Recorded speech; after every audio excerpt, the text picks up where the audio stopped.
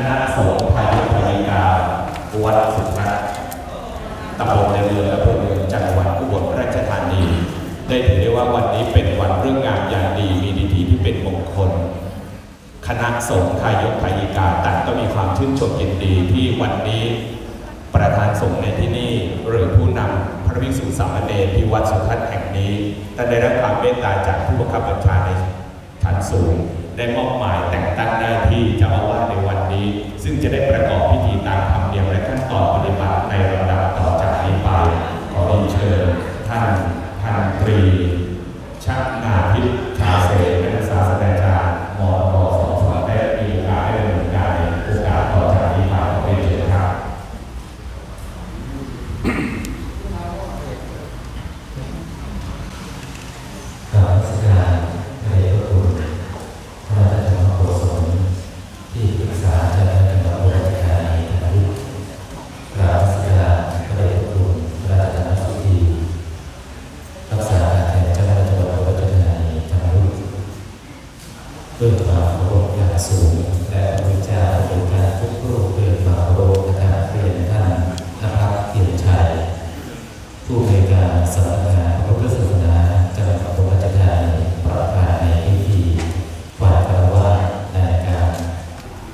ในโอกาสนี้ขอเรียนเชิญ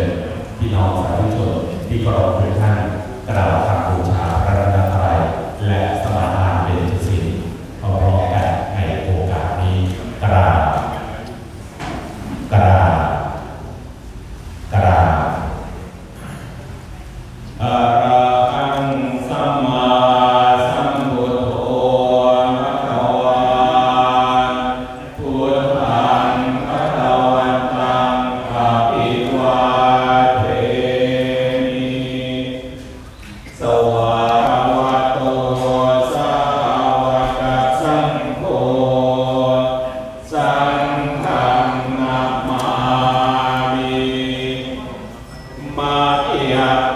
carte